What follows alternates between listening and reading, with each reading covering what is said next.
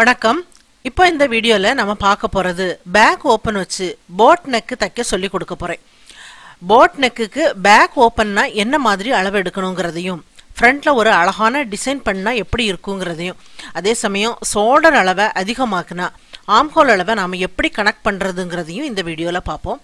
அதுக்கு முன்னாடி இந்த சேனலை சப்ஸ்கிரைப் பண்ணாதவங்க சப்ஸ்கிரைப் பண்ணுங்கள் என்னோட சேனல் நேமுக்கு பக்கத்தில் உள்ள சப்ஸ்கிரைப் பட்டனை கிளிக் பண்ணுங்கள் உடனே பக்கத்தில் வர்ற பெல் சிம்பலையும் கிளிக் பண்ணிடுங்க நான் வீடியோ அப்லோட் பண்ணும்போதெல்லாம் உங்களுக்கு ஒரு நோட்டிஃபிகேஷன் வந்துடும் என்னோட வீடியோக்களை நீங்கள் மிஸ் பண்ணாமல் பார்க்கலாம்.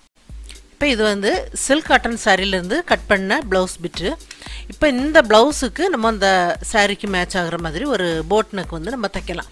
அதாவது ஃப்ரண்ட்டில் வந்து ஒரு டிசைன் பண்ணி பேக் ஓப்பன் பண்ணுற மாதிரி இந்த ப்ளவுஸை நான் இப்போ பண்ணி காட்டுறேன்.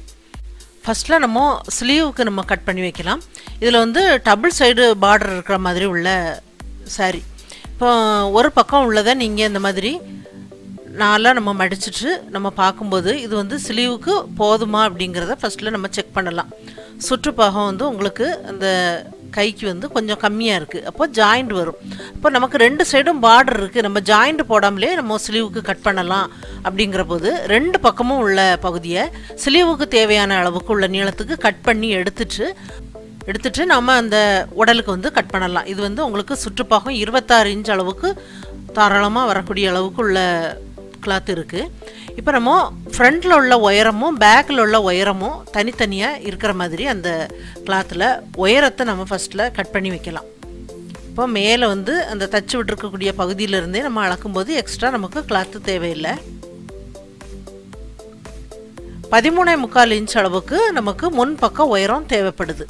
இப்போ அந்த பதிமூணே முக்கால் இன்ச்சை நம்ம ஒரு சைடில் இந்த மாதிரி அடையாளப்படுத்தலாம். உங்களுக்கு தேவையான அளவுக்கு உள்ள அளவை நீங்கள் அடையாளப்படுத்துங்க. அதே மாதிரி மீதி இருக்கக்கூடிய பகுதி உங்களுக்கு பேக் சைடுக்கு எவ்வளோ இருக்குது அப்படிங்கிறத பார்க்கலாம். இப்போ எனக்கு வந்து இதில் பதினஞ்சே கால் இன்ச் அளவுக்கு இதில் இருக்குது நமக்கு அப்போது மடித்து தைக்கிறதுக்கு எக்ஸ்ட்ரா கிளாத்தை நம்ம ஜாயிண்ட் ஆக்கி தைக்கிற மாதிரி அதில் வரும். இப்போ இன்னொரு பக்கமும் நம்ம பதிமூணே முக்கால் இன்ச் அளவுக்கு அடையாளப்படுத்திட்டு அப்படியே இந்த பீஸை நம்ம தனியாக கட் பண்ணலாம். இப்போ பேக் சைடு வந்து தனியாக நீங்கள் கிளாத் வந்து ஜாயிண்ட் ஆக்கணும் அப்படின்னா இருக்கக்கூடிய அளவில் இருந்து அரை இன்ச் அதிகமாக எடுத்தால் சரியாக இருக்கும். ஏன்னா சோல்டரில் கால் இன்ச்சும் இடுப்பு பகுதியில் ஜாயிண்ட் பண்ணுறதுக்கு கால் இன்ச் அந்த மாதிரி அரை இன்ச் அதிகமாக இருக்கிற மாதிரி உயரத்தில் கட் பண்ணணும். இப்போ இது வந்து சுற்று வந்து உடல் சுற்று இருபத்தி நாலு இன்ச் அளவு உள்ள ஒரு ப்ளவுஸுக்கு இப்போ ரெண்டாம் அடிச்சுட்டு நம்ம பார்க்கும்போது பன்னிரெண்டு இன்ச் அளவுக்கு கட் பண்ணுறேன் இது வந்து ஃப்ரண்ட்டில் உள்ள பீஸுக்கு நான் கட் பண்ணுறேன் பன்னிரெண்டு இன்ச் அளவுக்கு அந்த ஒரு பக்கம் அகலம் இருக்கிற மாதிரி வச்சுருக்கிறேன். ஏன்னா இந்த பீஸ் வந்து நான் ரெண்டாக மடிச்சிருக்கிறேன். எக்ஸ்ட்ரா இருக்கக்கூடிய கிளாத்தை நான் அப்படியே கட் பண்ணி எடுக்கிறேன். கட் பண்ணி எடுக்கும்போது அந்த மடிப்பு பாகம் இருக்கணும் நமக்கு. இன்னொரு பக்கத்தில் தான் எக்ஸ்ட்ரா பீஸை நான் கட் பண்ணி எடுத்துருக்கிறேன். இப்போ இதில் பேக் சைடு உள்ள கிளாத்தும் ரெண்டாக மடித்து வச்சுருக்கிறேன். ஃப்ரண்டில் உள்ள கிளாத்தும் ரெண்டாக மடிச்சிருக்கிறேன்.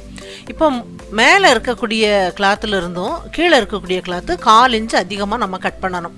அது வந்து ஓப்பன் வரக்கூடிய பகுதி. பேக் சைடு ஓப்பன் வரக்கூடிய பகுதி. அந்த பகுதி நம்ம எதுக்கு கால் இன்ச்சு நம்ம அதிகமாக எடுக்கிறோம் அப்படின்னா இப்போ இந்த சார்ட் பேப்பரில் ஒரு ரவுண்டு நெக்கை நான் பேக் ஓப்பன் ப்ளவுஸுக்கு நம்ம எப்படி கட் பண்ணணுங்கிறத பார்ப்போம். இது வந்து கால் இன்ச்சு உங்களுக்கு தைக்கும்போது உள்ளுக்கு போகுது. உள்ளுக்கு போகும்போது அந்த ரவுண்டு நெக்குக்கு அந்த லைன்லேருந்து வெளிப்பக்கமாக நம்ம ஒரு லைனை வரைஞ்சி அந்த கழுத்தோட அளவை சரி பண்ணுற மாதிரி நம்ம வரைகிறோம் இப்போ இந்த பகுதி உங்களுக்கு தைக்கும்போது அந்த ஓப்பன் பக்கத்தில் உங்களுக்கு உள்ளுக்கு தையலுக்காக நமக்கு விடக்கூடிய பகுதி. அப்போ கால் இன்ச்சை நம்ம வெளியே பண்ணி நம்ம அந்த கழுத்தோட பகுதியை சரி பண்ணியிருக்கிறோம். இப்போ அதே சமயம் ஒரு போட் நெக்கு அப்படிங்கும்போது நீங்கள் அந்த கால் இன்ச்சு நமக்கு அந்த தையலுக்கு உள்ளுக்கு போகும்போது என்ன ஆகுது நம்ம வந்து விரிவாக கட் பண்ண முடியாது. ஏன்னா அந்த போட் நெக்குக்கு அந்த ஷேப் வந்து மாறிடும் அப்போது நம்ம அந்த அளவை கொஞ்சம் அதிகப்படுத்தணும். இப்போ இது மேலே இருக்கக்கூடிய கிளாத் வந்து ஃப்ரண்டில் உள்ள கிளாத்து கீழே இருக்கக்கூடியது பேக் சைடு உள்ள கிளாத்து பேக் சைடு உள்ளது கொஞ்சம் அந்த கழுத்து பகுதியிலேருந்து வெளியே தெரிகிற மாதிரி இருக்குது மேலே இருக்கக்கூடிய கிளாத்துலேருந்து கால் இன்ச்சு அதிகமாக அந்த ஓப்பன் பகுதியில் வர்ற மாதிரி விட்டு நாம் கட் பண்ணணும். இப்போ இந்த மடிப்பு பாகம் இருக்கக்கூடியது ஃப்ரண்ட் நெக்கு கீழே இருக்க நான் இப்போ கட் பண்ணுறது பேக் சைடு ஓப்பன் வரக்கூடிய பகுதி. பாருங்கள் கால் இன்ச்சு நான் அதிகமாக கட் பண்ணியிருக்கிறேன். இப்போ இதே அளவுக்கு நம்ம லைனிங் கிளாத்தையும் நம்ம கட் பண்ணி வைக்கலாம். பேக் சைடில் ரெண்டு பீஸாக இருக்குது ஃப்ரண்ட்டில் வந்து ஒரே பீஸாக இருக்குது அதே மாதிரி நம்ம லைனிங் கிளாத்தையும் கட் பண்ணி வைக்கலாம். இப்போ இதில் மேல் பக்க கிளாத்து ரெண்டு பீஸ் இருக்குது அதே சமயம் லைனிங் கிளாத்தும் ரெண்டு பீஸ் அதே அளவுக்கு கட் பண்ணி வச்சுருக்கிறேன். இப்போ அதுக்கும் மேலே இருக்கக்கூடியது ஃப்ரண்டில் உள்ள கிளாத்து லைனிங் கிளாத்தும் மேல் பக்க கிளாத்தும் கட் பண்ணி வச்சுருக்கிறேன். கீழே இருக்கக்கூடியது பேக் சைடில் ஓப்பன் பகுதிக்கு கால் இன்ச்சு வெளியே தெரிகிற மாதிரி இருக்குது மேலே உள்ள பீஸ்லேருந்து கரெக்டாக பாருங்கள் இப்போ இது நமக்கு தச்சு விடும்போது அந்த அளவு சரியாக வரும். இப்போ சோடர் அளவை நம்ம மேலே உள்ள மடிப்பு பாகத்திலிருந்து நம்ம கணக்கு பண்ணணும். உங்கள் சோடரோட மொத்த அளவு எவ்வளவு இருக்கோ அதிலிருந்து ஒரு இன்ச்சு கம்மி பண்ணணும். இப்போ பதினாறு இன்ச் அளவு உள்ள ஒரு சோல்டருக்கு பதினஞ்சு இன்ச் அளவுக்கு நான் வைக்கிறேன். பதினஞ்சு இன்ச்சு டேப்பை நான் ரெண்டாக மடிச்சிட்டு மேலே உள்ள மடிப்பு பாக கிளாத்திலிருந்து நான் வைக்கிறேன். வைக்கும்போது உங்களுக்கு ஏழரை இன்ச் அளவுக்கு வரும். டேப்பை வந்து நம்ம ரெண்டாக மடித்து பதினஞ்சு இன்ச்சு வைக்கும்போது ஏழரை இன்ச்சுக்கு இருக்குது அந்த இடத்துல நான் அடையாளப்படுத்திட்டு அதுக்கப்புறம் நம்ம வந்து ஆம்ஹோல் அளவை கணக்கு பண்ணணும். இப்போ இந்த பகுதியிலிருந்து சோடர் வெட்டு போக வந்து மூணு இன்ச் அளவுக்கு நான் அடையாளப்படுத்துகிறேன் இது உள்பக்கமாக மூணு இன்ச்சுக்கு நான் அடையாளப்படுத்தியிருக்கிறேன். இப்போ அது போக வரக்கூடிய அளவு வந்து நமக்கு நெக்குக்கு நெக்கோட உயரம் மூணு இன்ச்சுக்கு அடையாளப்படுத்துகிறேன் பேக் சைடும் ஃப்ரண்ட்லேயும் ஒரே அளவுக்கு நான் அடையாளப்படுத்துகிறேன்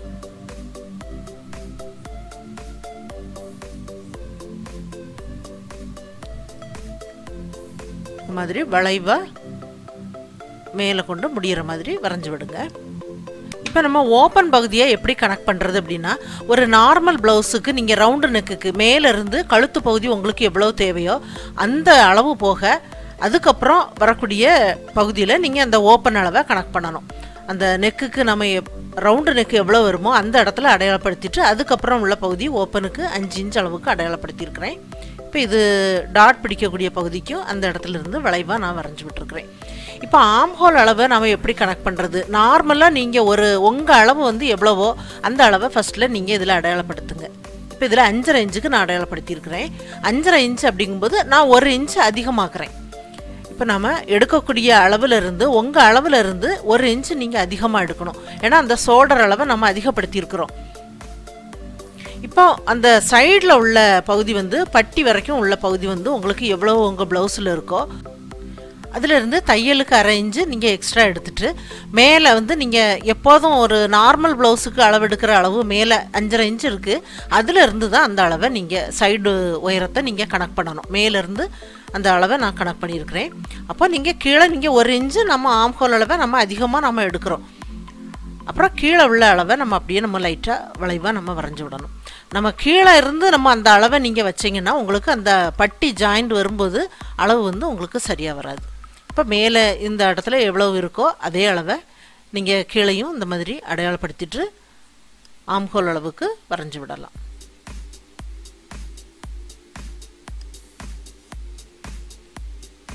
இப்போ இந்த கார்னரில் நம்ம எப்போதும் போல் ஒன்னேகால் இன்ச்சுக்கு அடையாளப்படுத்திட்டு இந்த வளைவை நான் வரைகிறேன் அப்புறம் குழிவாக நம்ம முன் பக்கத்துக்கு அரை இன்ச் அளவு எக்ஸ்ட்ரா எடுத்து நம்ம வரையணும்.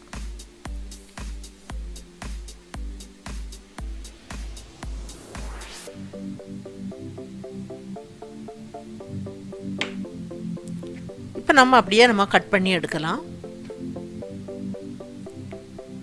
இப்போ இந்த ப்ளவுஸில் உங்களுக்கு மாற்றம் எது அப்படின்னா சைடில் அந்த ஜாயிண்ட் பகுதியை நம்ம கனெக்ட் பண்ணுறது சோல்டர் பகுதியை கனெக்ட் பண்ணுறது அப்புறம் வந்து ஓப்பன் பக்கம் ஃப்ரண்ட்டில் வந்து நீங்கள் வந்து நார்மலாக உங்கள் ப்ளவுஸில் வந்து ரவுண்டு நெக்கில் இருந்து நீங்கள் வரக்கூடிய அளவை கனெக்ட் பண்ணிவிட்டு அந்த ஓப்பனை நீங்கள் எப்படி பண்ணுவீங்களோ அதே மாதிரி மேலிருந்து நெக்கோட அளவை பண்ணிவிட்டு நீங்கள் அந்த ஓப்பன் அளவை கனெக்ட் பண்ணும்போது தான் அந்த பட்டியோட அளவு வந்து உங்களுக்கு அதில் கரெக்டாக உங்களுக்கு செட் ஆகுது.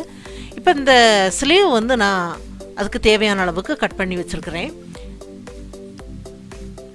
ஒன்பதரை இன்ச் அளவுக்கு அந்த ஒரு பக்கம் அளவு இருக்குது இப்போ இதில் வந்து எட்டு இன்ச்சு இருக்குன்னா நான் வந்து ஒன்பது ஒன்பதரை இன்ச்சு எடுத்துருக்கிறேன். ஒன்றரை இன்ச்சு அதிகமாக நான் எடுத்துருக்கிறேன். இப்போ இந்த ஸ்லீவை வந்து நம்ம இந்த ப்ளவுஸில் வந்து உடல் பாகத்தில் நம்ம வச்சு பார்க்கணும். இப்போ ஷோல்டரில் உங்களுக்கு கொஞ்சம் தையலுக்கு போகும். நம்ம கரெக்டாக வச்சு பார்க்கும்போது உங்களுக்கு தெரியும். கொஞ்சம்தான் முன்ன பின்ன வருது அப்படின்னா நீங்கள் சரி பண்ண வேண்டியதில்லை. இப்போ ரொம்ப உங்களுக்கு அளவு வித்தியாசமாக வருது அப்படின்னா நீங்கள் வந்து சோல்டர்லாம் ஜாயிண்ட் ஆக்குனதுக்கு அப்புறம் வந்து அந்த ஸ்லீவை வந்து நீங்கள் வச்சு பார்க்கணும். எவ்வளவு அதிகமாக வருதோ அதுக்கு தகுந்த மாதிரி கால் இஞ்சோ அரை இஞ்சோ அந்த ஆம்கோல் அளவை நீங்கள் அதிகமாக எடுத்துட்டு நீங்கள் பண்ணலாம். இப்போ இந்த பட்டியோட அளவு நாலு இன்ச் அளவுக்கு இருக்கிற மாதிரி அதுக்கு தேவையான நீளத்துக்கு கட் பண்ணி வச்சுருக்கிறேன். இப்போ இது வந்து ஃப்ரண்ட்டில் நான் ஒரு டிசைன் பண்ணுறதுக்காக இந்த பேப்பர் கேன்வாஸில் ரெண்டரை இன்ச்சு உயரத்துக்கு உள்ளுக்கு வந்து நான் ரெண்டாக மடித்து வச்சு நான் அடையாளப்படுத்துகிறேன் இப்போ இதில் ஒரு இன்ச்சுக்கு அடையாளப்படுத்துகிறேன் இது ஒரு கோவி வடிவமாக இந்த டிசைனை நான் பண்ணுறேன் இப்போ நம்ம வரைஞ்சி விட்டுருக்கக்கூடிய லைனில் அப்படியே நம்ம கட் பண்ணி எடுக்கலாம். இப்போ இந்த பேப்பர் கேன்வாஸை நான் ரெண்டாக மடித்து வச்சு கட் பண்ணும்போது உங்களுக்கு இந்த கோவி வடிவம் ரொம்ப அழகாக வருது. வெளிப்பக்கம் கொஞ்சம் எக்ஸ்ட்ரா இந்த மாதிரி பேப்பர் கேன்வாஸ் இருக்கிற மாதிரி நம்ம கட் பண்ணி வைக்கலாம். ஒரு இன்ச் அளவுக்கு இருந்தால் போதுமானது.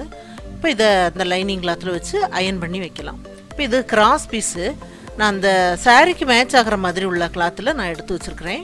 இது வந்து நம்ம பைப்பிங் பண்ணுறதுக்காக இப்போ எல்லா பீஸையும் இந்த மாதிரி ஃபஸ்ட்டில் ஜாயிண்ட் ஆக்கி வைக்கலாம். ஜாயிண்ட் ஆக்குனதுக்கப்புறம் இந்த பீஸை நம்ம ஒன் சைடாக மடித்து தைக்கலாம். மடித்து தைக்கும்போது அந்த தையல் வந்து உங்களுக்கு எட்ஜில் வர்ற மாதிரி இந்த தையல் இருக்கணும். இப்போ இதில் மேல் பக்க கிளாத்தை நம்ம தனியாக அந்த ஷோல்டர் பகுதியில் ஜாயிண்ட் ஆக்கலாம். இது வந்து கீழே இருக்குது ஃப்ரண்டில் உள்ள பீஸு மேலே வைக்கிறது பேக் சைடு உள்ளது. பேக் சைடில் தான் உங்களுக்கு ஓப்பனாக இருக்குது அந்த கழுத்து பகுதியை கரெக்டாக வச்சுட்டு அந்த ஷோல்டர் பகுதியை ஜாயிண்ட் ஆக்கி வைக்கலாம். அதே மாதிரி லைனிங் கிளாத்தையும் ஜாயிண்ட் ஆக்கி வைக்கலாம். இப்போ ரெண்டு பீஸையுமே நான் ஷோல்டர் பகுதியில் ஜாயிண்ட் ஆக்கி வச்சுருக்கிறேன். இப்போ இது மேல் பக்க கிளாத்தை மட்டும் நான் தனியாக எடுத்து வச்சுருக்கிறேன். இப்போ மேல் பக்க கிளாத்தில் பேக் சைடு அந்த ஓப்பனில் இருந்து நம்ம இதில் கிராஸ் பீஸை இந்த பைப்பிங் பண்ணுறதுக்காக தச்சு வச்சுருக்கக்கூடிய கிராஸ் பீஸை வச்சு ஜாயிண்ட் ஆக்கலாம்.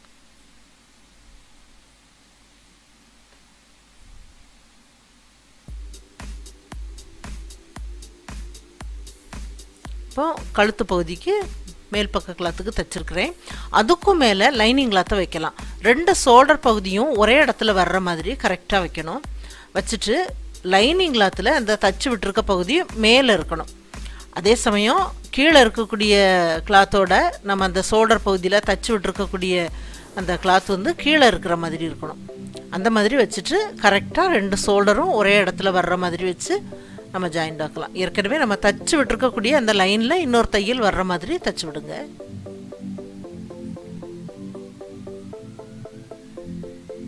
இப்போ கழுத்து பகுதிக்கு ரெண்டு கிளாத்தையும் ஜாயிண்ட் ஆக்கிட்டு இந்த மாதிரி கழுத்து பகுதிக்கு கட் பண்ணி விட்டுட்டு லைனிங் கிளாத்தை உள்பக்கமாக நம்ம திருப்பி எடுக்கலாம். திருப்பி எடுத்ததுக்கப்புறம் நல்லா கழுத்து பகுதியில் இந்த மாதிரி கை வச்சு தேய்ச்சி விட்டுட்டு நம்ம பைப்பிங் பண்ண ஆரம்பிக்கலாம். இதில் நான் இப்போ த்ரெட் பைப்பிங் பண்ணுறேன் இப்போ த்ரெட்டை நீங்கள் அடியில் வச்சுட்டு இந்த மாதிரி கவர் பண்ணும்போது உங்களுக்கு பைப்பிங் ரொம்ப அழகாக வரும். இதுக்கு வந்து டபுள் ஃபுட்லேயே நீங்கள் தச்சு விடலாம். சிங்கிள் ஃபுட் வேணுங்கிற அவசியம் இல்லை.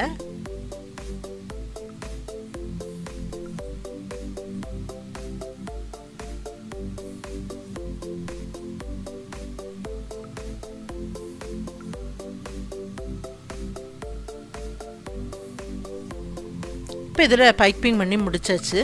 பைப்பிங் பண்ணதுக்கப்புறம் இந்த கிளாத்தை வந்து லைனிங் கிளாத்தையும் மேல் பக்க கிளாத்தையும் சுற்றி ஜாயிண்ட் ஆக்கி வச்சுருக்கிறேன். சுற்றி ஜாயிண்ட் ஆக்குனதுக்கப்புறம் முன் பக்கம் சென்டரில் வந்து ரெண்டாக மடித்து வச்சு அடையாளப்படுத்தி வச்சுருக்கிறேன். இப்போ இந்த பீஸையும் நம்ம ரெண்டாக மடித்து சென்டரில் அடையாளப்படுத்தி வைக்கலாம். இப்போ இந்த ரெண்டு சென்டர் பகுதியும் ஒரே இடத்துல வர்ற மாதிரி கரெக்டாக நம்ம வச்சுட்டு உள்பக்கம் இருக்கக்கூடிய அந்த இடைவெளியில் நம்ம அந்த பேப்பர் கேன்வாஸுக்கு எட்ஜில் தச்சு விடலாம்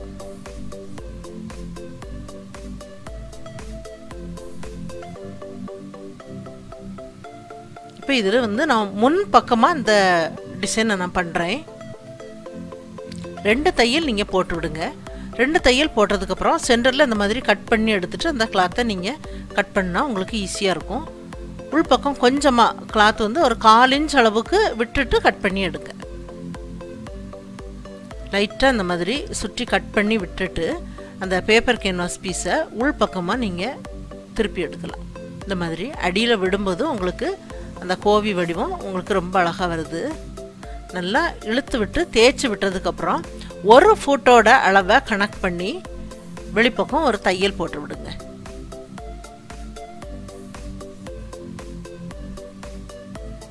இப்போ இதில் ஒரு ஃபுட்டோட அளவுக்கு தையல் போட்டிருக்கிறேன்.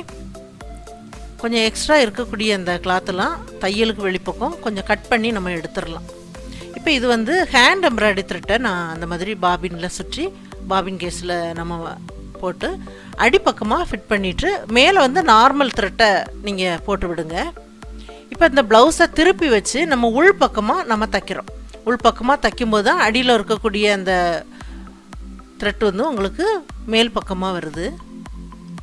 நம்ம ஒரு ஒரு ஃபுட்டோட அளவுக்கு ஒரு தையல் நம்ம தச்சு விட்டுருந்த அந்த லைனில் தைக்கிறேன். கீழே இருக்கக்கூடிய அந்த த்ரெட்டை கட் பண்ணி விட்டுட்டு தைக்க ஆரம்பிங்க. நம்ம ஃபஸ்ட்டில் வந்து ஒரு தையல் ஒரு ஃபுட்டோட அளவுக்கு போட்டு விட்டுருந்த லைனில் இப்போ தைக்கும்போது உங்களுக்கு வசதியாக இருக்கும். இதில் வந்து ரெண்டு தையல் நான் போட்டு விடுறேன். இப்போ இந்த கோவி வடிவம் உங்களுக்கு நார்மல் கழுத்து பகுதியில் தான் உங்களுக்கு வரும். இப்போ கீழே வந்து நீங்கள் டாட் எல்லாமே சாதாரணமாக நீங்கள் எப்படி நீங்கள் அளவெடுத்து வைப்பீங்களோ சென்டரில் இருந்து அந்த மாதிரி அளவெடுத்து உங்கள் டாட் எல்லாமே நீங்கள் பிடிச்சி விடுங்க. இப்போ இதில் பட்டிக்கு ஒரே பீஸாக கட் பண்ணுறதுக்கு கிளாத்து கம்மியாக இருந்ததுனால நான் ரெண்டு பீஸாக அந்த மாதிரி சென்டரில் ஜாயிண்ட் ஆக்கி வச்சுருக்கிறேன். நீங்கள் ஒரே பீஸாக கிளாத் இருந்ததுன்னா ஒரே பீஸாக கட் பண்ணி வைங்க. இப்போது ரெண்டு லைனிங் கிளாத்தும் ரெண்டு மேல் பக்க கிளாத்தும் இருக்கிற மாதிரி தைச்சிட்டு நீங்கள் பட்டி எப்படி தைப்பீங்களோ அதே மாதிரியே தைச்சு இந்த மாதிரி அடியில் வந்து ரெண்டாக மடித்து நான் கால் இன்ச்சு இடைவெளி விட்டு எல்லா பீஸையும் சேர்ந்த மாதிரி மேலேயும் தச்சு விட்டுருக்குறேன்.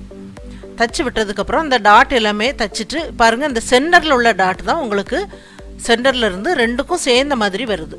இப்போ இந்த பட்டி பீஸை கரெக்டாக அந்த சென்டரில் அந்த கார்னர் இருக்கிற மாதிரி வச்சு அந்த நீடில் வந்து அதில் ஃபஸ்ட்டில் வச்சுருங்க. வச்சதுக்கு அப்புறம் இப்படி திருப்பிட்டு நீங்கள் அந்த பட்டியை ஒரு பக்கமாக திருப்புங்க உங்களுக்கு கரெக்டாக அந்த சென்டர்லேருந்து உங்களுக்கு ஜாயிண்ட் ஆகும். இப்போ இந்த டாட் பிடிச்சிருக்கக்கூடிய பகுதி வரும்போது அந்த டாட் வந்து அடியில் வந்து நீங்கள் மடித்து விட்டுட்டு வைங்க. அதே மாதிரி இந்த சென்டரில் அந்த நீடியில் கரெக்டாக அந்த இடத்துல வச்சுட்டு அப்புறமா நீங்கள் அந்த பீஸை அப்படி திருப்பி விடுங்க. அப்போது உங்களுக்கு அந்த பட்டி வந்து சென்டரில் கரெக்டாக ஜாயிண்ட் ஆகும்.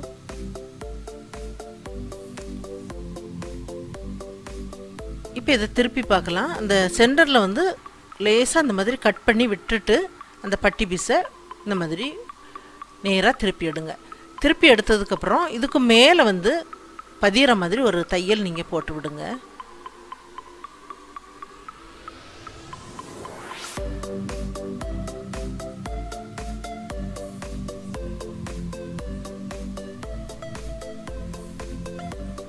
பாருங்கள் இந்த பட்டி பீஸ் வந்து ஜாயிண்ட் ஆக்கி முடிச்சாச்சு. மேலே வந்து உங்களுக்கு ஃபினிஷிங் ரொம்ப நல்லா வந்திருக்கு. ஸ்லீவை நான் லைனிங் கிளாத்தும் மேல் பக்க கிளாத்தையும் ஜாயிண்ட் ஆக்கி வச்சுருக்கிறேன். ரெண்டாக மடிச்சுட்டு கரெக்டாக அந்த சோல்டர் பகுதியிலிருந்து ஒரு பக்கமாக நம்ம வச்சு பார்க்கலாம். கரெக்டாக இந்த மடிப்பு பாகத்தை சோல்டர் பகுதியில் கரெக்டாக வைங்க. வச்சுட்டு ஒரு பீஸ் எடுத்து ஒரு பக்கமாக நம்ம வச்சு பார்க்கலாம். அளவு வந்து நாம் கட் பண்ணது சரியா அப்படிங்கிறத செக் பண்ணிவிட்டு நம்ம தைக்க ஆரம்பிக்கலாம். இப்போ இதில் கொஞ்சம் தான் உங்களுக்கு எக்ஸ்ட்ரா இருக்குது இப்போ கொஞ்சம் உங்களுக்கு முன்னும் பின்னும் இருந்துன்னா ஒன்றும் பிரச்சனை இல்லை. நீங்கள் அப்படியே நீங்கள் தச்சு விடலாம். ஏன்னா கொஞ்சம் கால் இன்ச் அளவுக்குலாம் இருந்துன்னா கூட நீங்கள் சைடில் நீங்கள் தைக்கும்போது அது உங்களுக்கு சரியாக போகும். இப்போ இந்த ஓப்பன் பகுதிக்கு அந்த கால் இன்ச்சு நம்ம எக்ஸ்ட்ரா விட்ட கிளாத்தில் நம்ம தச்சு ஒரு பக்கம் ஹூக் மாட்டுற பகுதி தச்சு விடுறோம். அப்புறம் இன்னொரு பக்கம் நம்ம வந்து வீப்பட்டி தைக்கிறதுக்காக. அதுவும் உங்களுக்கு கால் இன்ச் அளவு கிளாத்தில் உள்பக்கமாக தைச்சு நம்ம அதை வெளிப்பக்கமாக திருப்பி நம்ம தைக்கும்போது நம்ம அதிகமாக எடுத்த அந்த கால் இன்ச்சு உங்களுக்கு சரியாக வரும். அந்த மாதிரி வரும்போது ஃப்ரண்ட்டில் உள்ள நெக்கும் பேக்கில் உள்ள நெக்கையும் அந்த ப்ளவுஸை வந்து வைக்கும்போது கரெக்டான அளவில் உங்களுக்கு இழுத்து பிடிக்காமல் சரியாக வரும். இப்போ சைடு ஜாயிண்ட் வந்து நம்ம கணக்கு பண்ணது சரியாக வருதா அப்படிங்கிறத பார்க்கலாம். மேலேருந்து வச்சு பார்க்கும்போது உங்களுக்கு இப்போ வந்து கீழே உள்ள பீஸு கால் இன்ச்சு தான் உங்களுக்கு அதிகமாக இருக்குது நம்ம கால் இன்ச்சில் நம்ம தச்சு இன்னொரு பீஸை நம்ம அடிப்பக்கமாக திருப்பி தைக்கும்போது அந்த அளவு வந்து உங்களுக்கு சைடு ஜாயிண்ட் பண்ணும்போது சரியாக வரும். இது எல்லாமே நான் இப்போ தைச்சதுக்கப்புறம் இப்போ உங்களுக்கு காட்டுறேன். இப்போ ஃப்ரண்ட்லேயும் முடிச்சாச்சு. பேக் சைட்லேயும் நான் அந்த ஓப்பன் பகுதி எல்லாமே தச்சு அடியில் வந்து எக்ஸ்ட்ரா லைனிங் கிளாத்து ஜாயிண்ட் ஆக்கி இடுப்பு பகுதியில் மடித்து தச்சு ரெண்டு டாட் எல்லாமே நான் பிடிச்சு விட்டுருக்குறேன்.